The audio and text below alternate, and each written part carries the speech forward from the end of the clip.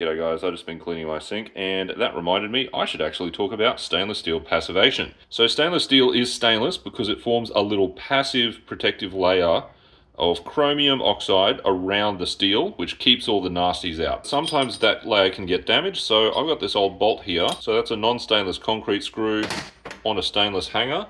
And you can see that this hanger have all this kind of iron contamination on there. And if left for a long time, that iron contamination can actually get into the bulk of the steel and eat it away, and then you end up with a, believe it or not, rusted stainless steel hanger. But luckily, I've been cleaning my sink with this stuff. So this is Bar Keepers Friend. It's really good for, you know, cleaning stuff. But the magic ingredient is it is citric acid. So this is citric acid powder with some like gypsum or some abrasive stuff in there. But citric acid can be used to passivate stainless steel. So in here, I've just got a whole bunch of Bar Keepers Friend. It's white because it's got this powder stuff in it too.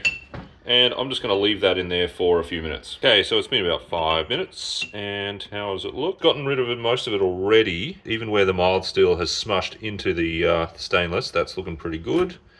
And on the back, yeah, okay, all that superficial stuff is gone too. So that's looking pretty good. Now that has gotten that iron contamination out and it has also refreshed the passivation layer. So that should be good and stainless again. So if you've got some stainless bolts with like little rusty spots on them, you may want to do something like this, especially if there may be glue-in bolts that have been hit in with a hammer for some reason. You might want to just grab something like this, rub a little bit on there for a few minutes, and then hopefully that'll refresh the corrosion resistance and give them another few years of life uh, because you know that kind of thing especially you can't replace it easily. And obviously this works with anything you know stainless steel sinks pots brewing equipment anything like that. And stainless steel is self-passivating just in air but you know sometimes stuff can interfere with that. So it is good to know how to uh, how to prevent that as well. Anyway scratches later